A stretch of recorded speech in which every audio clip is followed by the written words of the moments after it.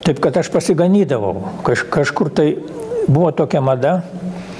Mes tada visi darydavom, nes žinot, ant, kal, ant kalkutės kopijuoti žurnalų negalima buvo.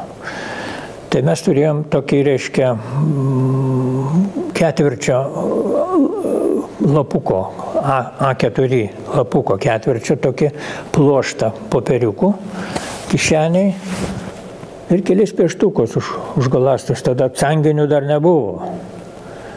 Ir ten iš karto, iš karto užsipaišai, ką tu ten nori, planiuko, ar ten, ar ten, ar ten perspektyvos gabaliuko, ar ten, ar ten detalę kažkokią.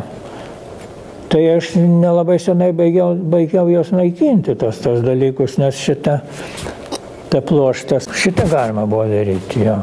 Tai, tai vienas dalykas, kad pamatai, kitas dalykas, tu įsimeni pasižymėdamas.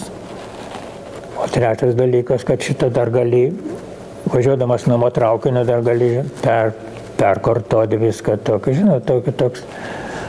Už tai aš labai, labai šitą aukštai vertinau ir tos studentus, kurie, kurie irgi šitą domėjosi tais dalykais ir kurie šitą, ir kurie kažkaip tai rinko savo archyvą kažkokį, žinot. Bet tokių buvo nedaug.